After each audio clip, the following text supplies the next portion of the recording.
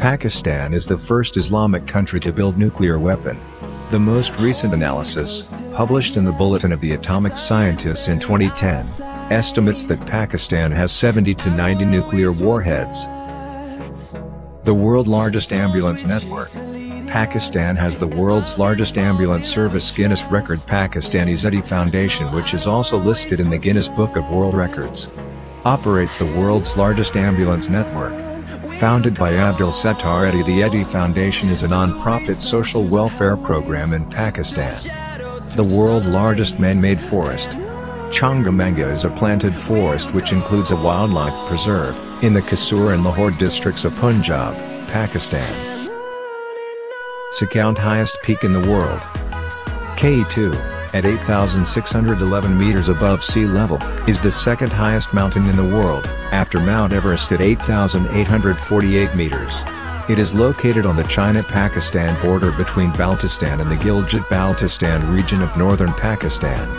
Pakistan produce half of the world football, it was not a surprise when Russian ambassador to Pakistan Alexei Dedov confirmed that his country will be using footballs manufactured in the Pakistani city of Sialkot for use in matches of the 2018 FIFA World Cup. Around the world, more than 70% of the world's footballs are made in the city of Sialkot in Pakistan. Sakhoun largest salt mine in the world. Today, some 2,330 years later, the Creusot mines are the second largest in the world behind the Sifto Canada turning out 325,000 tons of salt per year. And an estimated 220 million tons over its lifetime. Most intelligent elite force. The Punjab police specializing in counter-terrorist operations and VIP security duties.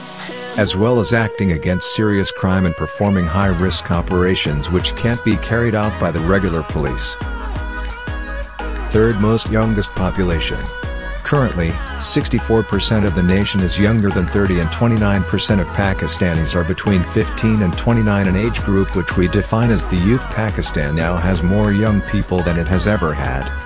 And this is forecasted to continue to increase until at least 2050. Second most populous Muslim country. Pakistan is the second largest Muslim majority country in terms of population in the world. Iran and Turkey are the largest Muslim-majority countries. In Africa, Egypt and Nigeria have the most populous Muslim communities.